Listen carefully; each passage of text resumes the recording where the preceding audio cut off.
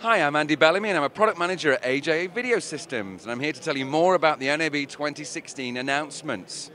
Uh, for many years now we've been shipping a fantastic device called a T-Tap, a Thunderbolt to SDI and HDMI adapter, bus powered, works on your desktop, an amazing device. We're thrilled to add to that range at this NAB by announcing the UTAP HDMI and the UTAP SDI.